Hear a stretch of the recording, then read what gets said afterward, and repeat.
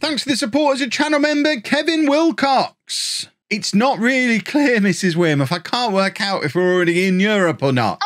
You know how unreliable the little icons can be on the league tables. We've fallen into that trap before. I think we might have qualified for the Conference League, but could still get into the Europa League.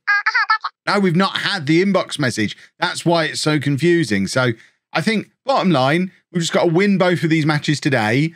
And if we do, we should end up in Europe.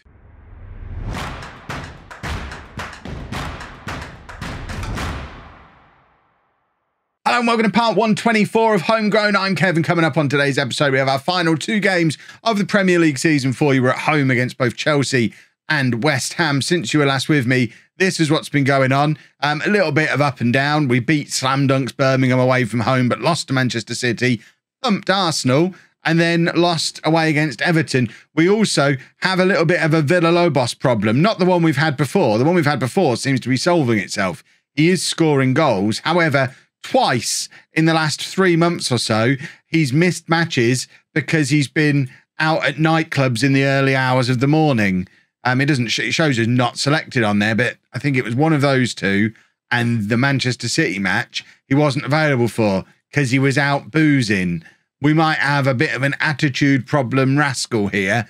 So we're going to have to keep an eye on things. Um, it does also have an impact on player development as well, I think. So um, you can see his progress has taken a massive duck down because he's been out boozing. Um, it does seem to have made its way back up a little bit, but he's actually in decline as a player because he's too busy faffing about at nightclubs, having a lovely old time. The positive uh, kind of balances out against that um, is that James Francisco has emerged as a striker and really the strike partner to Villalobos, or could become the strike partner to to Bayer if Villalobos continues to be a moron. Um, but he's been in excellent form in his last few games. Um, you can see he's very much enjoyed playing in a couple of friendlies against some of the local sides, scoring 10 goals during an international break, um, and then came straight back into the team and has four goals in his last two games. So Francisco seems to be filling the void that Villalobos might be leaving, although Villalobos is scoring goals as well. They're both doing really rather well performance wise, at least. And this is the league table. As you can see, we have the icon qualified for Europa Conference League, but we haven't had the email. So I don't know for sure that seventh place does get us the Conference League. We could probably check out who won the Carabao Cup. Uh, Manchester City won the Carabao Cup and they're going to get in the Champions League. So seventh place should be Conference League. I think we are in the Conference League, but I think sixth place would get us Europa League. We're five points behind Bournemouth, but we do have a game in hand, which is this game against Chelsea. Does it tell us? Here we go. Here we go. So top four get Champions League, then fifth and sixth Europa League, seventh is Conference League. So if we can catch Bournemouth, we'll get into the Europa League. I've still never played in the Europa Conference League. So it would be quite nice to play in it just so I can say I've played in it. Um, but if we beat Chelsea, we're then two points behind Bournemouth, probably with a better goal difference going into the final day. And on the final day, we're at home against West Ham, who are just below us in 10th place. Meanwhile, Bournemouth away against Aston Villa, who will potentially need a result to stay in the Premier League. So Villa are going to be properly up for it. There is a chance we could catch Bournemouth if we win both of our games. It is a big if, obviously, because Chelsea aren't going to roll over and just let us thump them. And we have been using the 4-2-4 during this run of games. It is a very amended version of it. You can see it's based on my uh, Streamer Showdown winning tactic from the most recent Streamer Showdown. I know anyone who watched the Streamer Showdown over on Twitch will know at no point did I use a 4-2-4. So it's not completely taken from the Streamer Showdown, but it does seem to be working better than the Sheffield United variant we were using yesterday. Uh, Park has been injured, but is now back in the team. He's also scoring for fun. Um, we're a good side. We just need to win a couple more games and see if we can sneak into the Europa League and the extra riches that are there because we need it. Not because we particularly want to play in Europe, but because our players do. Gregoire, for example, um, we've had to agree that if we get a bid of 83 million or more for him, we'll sell him because he wants to move to a bigger club. And I don't think he's going to be the only one we have that conversation with if we continue to not be in Europe. His reasons for wanting to leave, he wants to play in the Champions League We obviously can't get there this season, but a year in the Europa League where we continue to make progress forward is all steps in the right direction to maybe push for the Champions League in the next year or two. And even if it ultimately means we can't keep Gregoire at the club, if we can keep Park at the club long term, because we might be, and Fazekas and a few of these others who will be the next asking to leave, then it's that's why we need to be pushing to do it.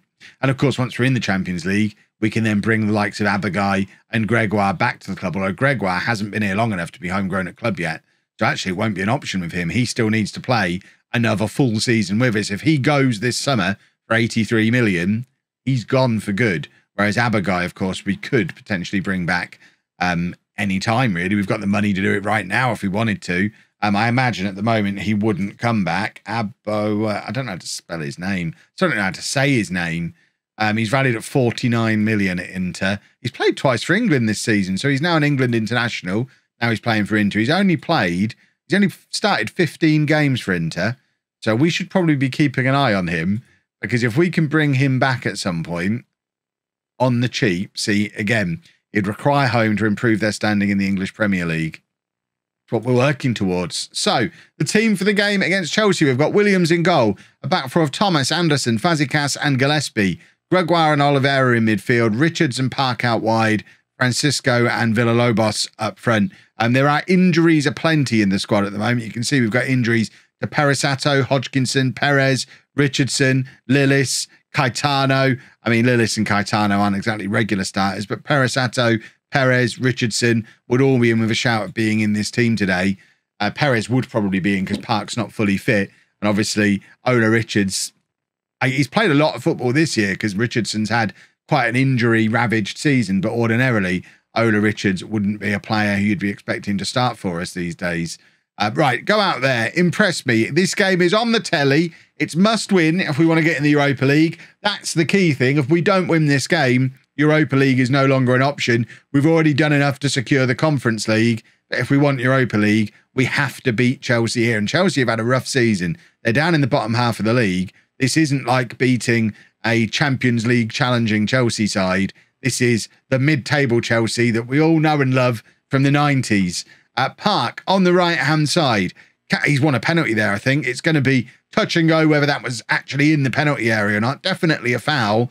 The ref is going over to, oh, he's not going over to the little telly. He's talking to the little man who lives in his ear to find out if that was inside the penalty area or not. It is a penalty. Park wins the penalty. And who's stepping up to take it? Somebody who's left footed. Who on earth? Oh, Gregoire, of course. Gregoire, I mean, that's a casual penalty. I don't like that at all. He scored it.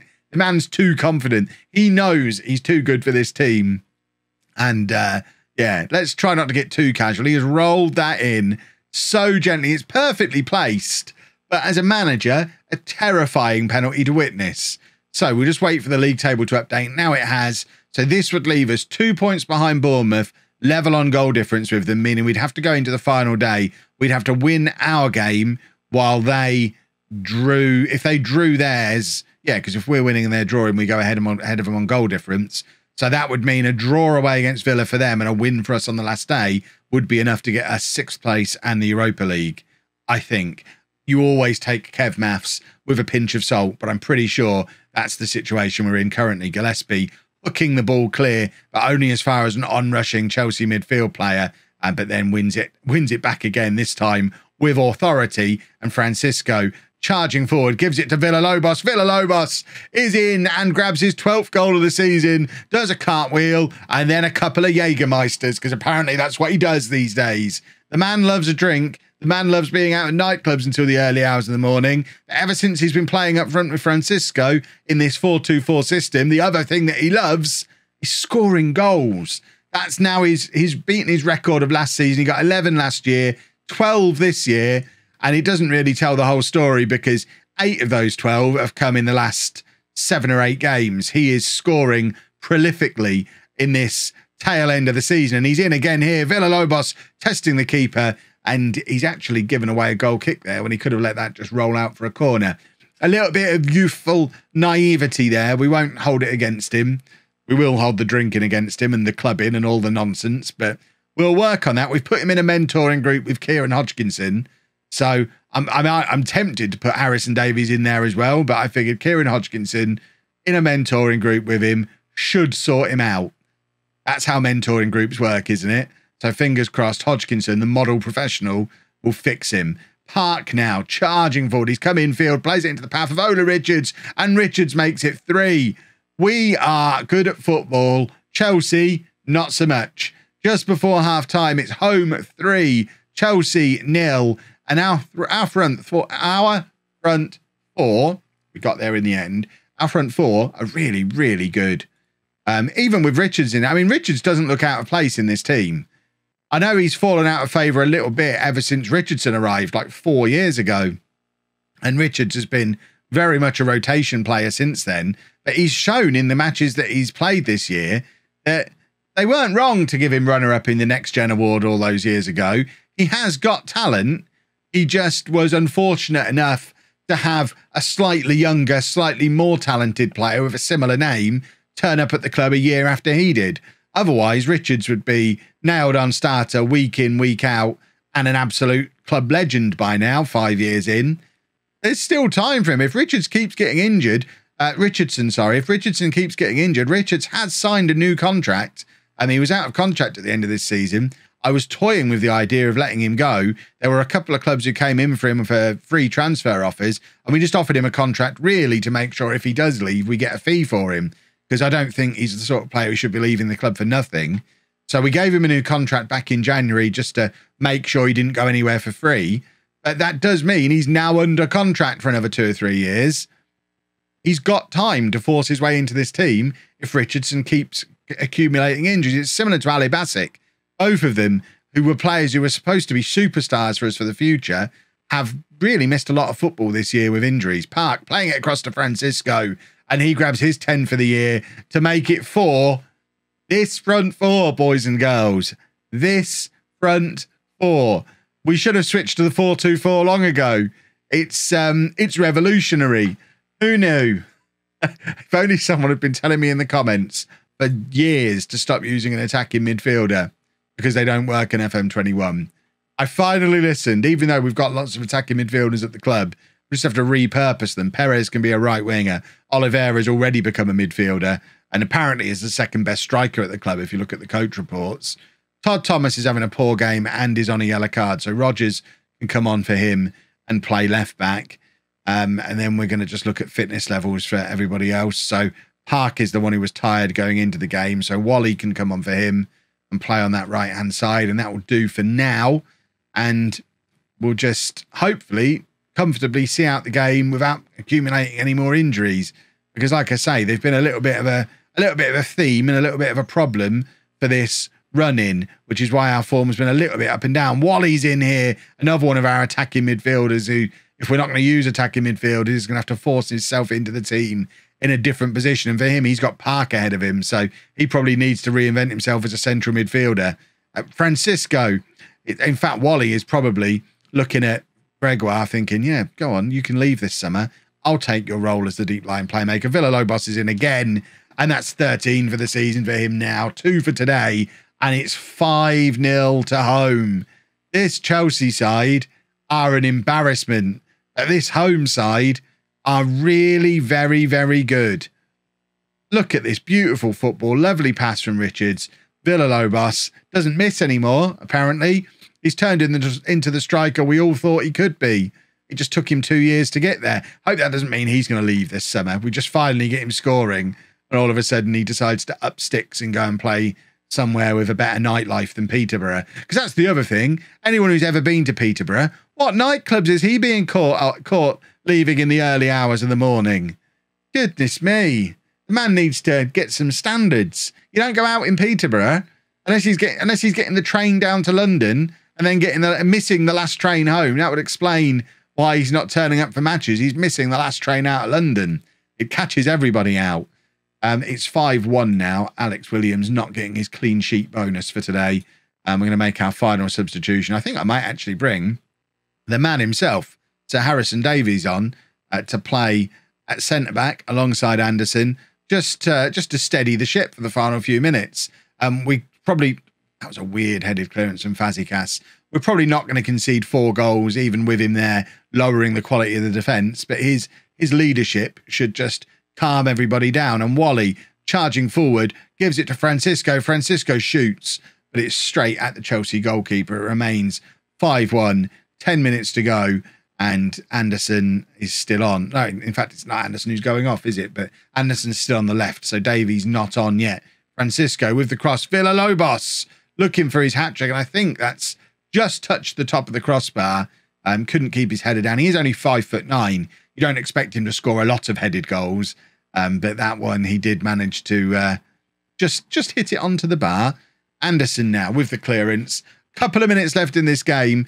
Davies is now on at the back, so if we could get a corner and have a Harrison Davies goal, that would be lovely. Williams has spilled one a little bit there um, and given away a corner. Like I say, it shouldn't be too much of an issue for us. The rain is now throwing down, and Chelsea get a free header inside the six yard box. But luckily, they've not got their accuracy ability leveled up today. I think that's that's proper football talk there. They need to level up their accuracy ability.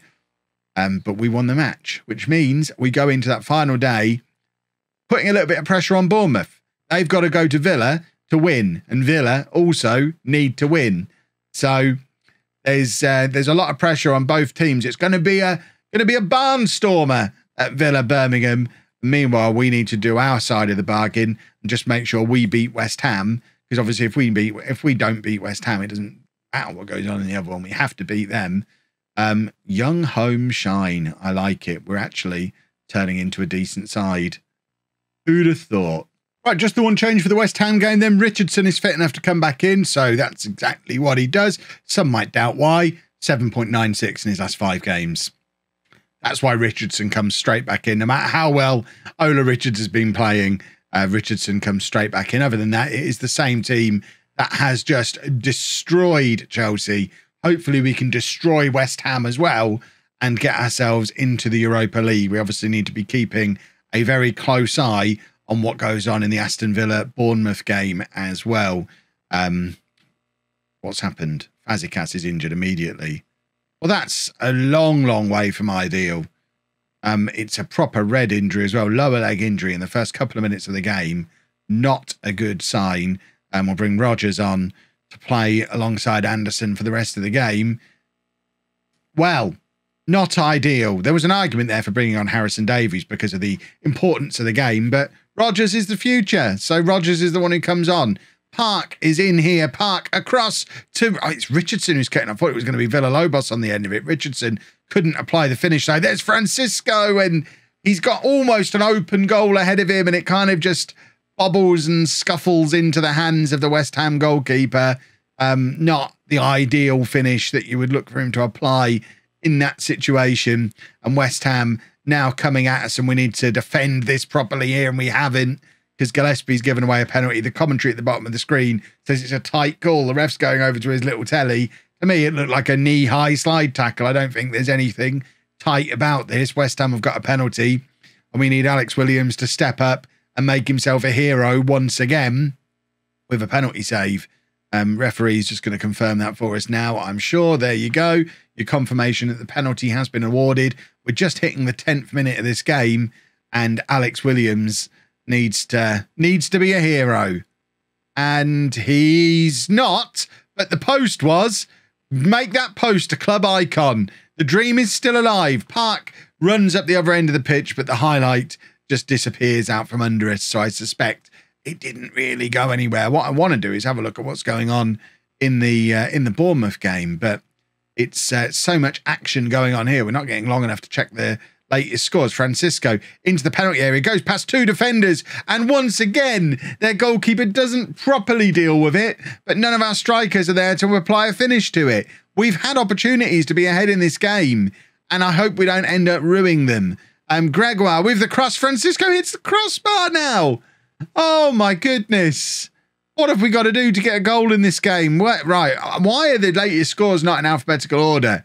That makes things that bit much more difficult to, to track and find out what's going on. Uh, West Ham with an open goal. I mean, that's really poor defending. It's I don't want to blame Rogers, but that's the area of the, the pitch that Rogers should have been covering there, and it was suspiciously vacant of anybody in a home shirt. That's Gregoire. So where on earth is Rogers?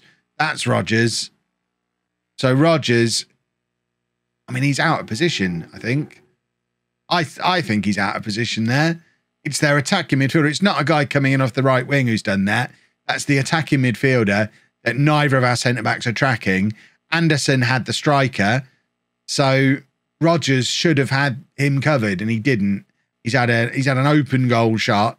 It's still nil nil in Villa Bournemouth. So if we can somehow turn this around, a win here would be enough to put us above Bournemouth. It won't now. Bournemouth have just gone ahead against Villa, and it looks like final day. We're uh, we're not quite gonna achieve what we hoped we'd achieve, but we're still gonna get into Europe. First ever time in Europe. First ever time in the Conference League for me across any save, and we did qualify for the Conference League in non-league to legend. I think last year. I want to say I don't think it was this year's non-league legend. I think last year's non-league legend with Barnsley we qualified for it, but before we played in it, I moved clubs. So I'm pretty sure in the couple of years that the Europa League, the Europa Conference League has been in the game, I've not ever played in it. So I assume it just works the same way as the Europa League. I'm thinking now we must have played in the Conference League when we were at Apollon. I think I'm talking absolute bobbins. I think we played in it multiple times at Apollon. Didn't we reach the final of the Conference League with Apollon? Or is that the Europa League all along? You'll all let me know down in the comments, I'm sure in my head, we've never played in it, but I'm now thinking we probably have. Park plays it out to Gillespie. Gillespie across to Oliveira, and Oliveira grabs an equaliser. And maybe there's a little bit of hope for us here. We still need Aston Villa to do us a big, big favour. Um, which, I mean, to be honest, they need to be doing themselves a favour as well because they need, I'm pretty sure they need a win to stay in the Premier League, depending on what goes on in other results, but we're giving ourselves a route back into this game. So at the moment, Villa are drawing against Bournemouth, which is enough. I mean, goal difference wise, even if they lose, unless Newcastle win. But Villa are going to want to win. If we go ahead, we're in the Europa League based on scores as they are. We're going to bring Bayer on to play up front. And we're also going to bring Wally on because Wally was very good in that last game. And we're just going to shuffle up that front four. We're going to demand more again. And we're going to hope, right, Bournemouth have gone ahead again in that game by the looks of it. They've just come back up to 69 points. So maybe, maybe we're not quite going to do what we hoped we were going to do, but Europe's Europe. Uh, you know, Thursday night's Thursday night. Europe's Europe. Doesn't matter which flavour we're playing in. We've got more chance of winning the Conference League. Francisco's in here and he has turned it in. An 11th goal of the season for him we're now doing our bit. It's 2 1 to us in this game against West Ham. If Bournemouth draw level, in fact, if Villa draw level against Bournemouth, Bournemouth have just gone ahead again 2 1 to that man Santos again, the guy who's got close to 40 goals for them this season. Idiots. Uh, but if we can, uh, if Villa can grab an equaliser there, we will just, I think, sneak into the Europa League. It's not going to happen unless it happens in the final kick of the game. Kind of want Villa to be relegated for not doing their bit, but they haven't been. I think we've finished second. It's an all time high finish for us. Yeah, there's your confirmation. And there's your confirmation that we've qualified for the Europa League. Or it's not actually. It's confirmation that the league is getting Europa League spot. I'm just glazing over the fact Fazekas has broken his leg. That's a problem. Good job Elias is coming in this summer. We're going to be, I guess, Anderson and Elias next year, unless we get Abagai back. That's a big blow because that's him out until Christmas. Not ideal at all. But that is your confirmation, I think. We still haven't got an email saying we've qualified for Europe. I'd like to see that email because I've been done dirty by this game before. We still don't have it. So we've been given money. At one stage, we looked like qualifying for the Champions League. I don't know that we did. I don't know that we ever looked. We were all right at the start of the season. We never looked like we were going to sustain it, though. Um, right. I mean, bringing Abagai back seems all the more important. Now we've lost Fazekas until Christmas. That might be number one target for the summer bringing Enoch Abagai back to the new home of football. Can we have confirmation that we're in Europe, please? It might have to wait for the transfer special tomorrow. I think the the initials next to our name in the league table should probably be enough. But I would uh, I would like to see, yeah, we're not going to find out because we all know once we see this page, we have to wait and you have to wait for the transfer special tomorrow. I'm like 90% sure we're in the Conference League next season. If you've enjoyed that, please make sure you leave a nice big thumbs up on there for me. Subscribe to the channel for daily Football Manager videos. And thank you very much for watching.